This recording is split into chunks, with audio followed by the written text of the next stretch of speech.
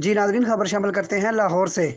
लाहौर में ट्रैफ़िक कवानीन की खिलाफ वर्जी पर दो से पाँच हज़ार रुपए तक जुर्मानों का फैसला। लाहौर पुलिस ने ट्रैफ़िक कवानीन की खिलाफ वर्जी करने वाले शहरियों के लिए जुर्मानों में कई गुना इजाफा करने का फैसला कर लिया। तफसीत के मुताबिक पंजाब पुलिस की तरफ़ से सोशल मीडिया पर की गई एक पोस्ट पर शहरियों को खबरदार किया गया है कि अब ट्रैफ़िक कवानीन की खिलाफ वर्जियों पर दो से पाँच सौ रुपए की बजाय दो हज़ार से पाँच सौ रुपए तक जुर्माना होगा।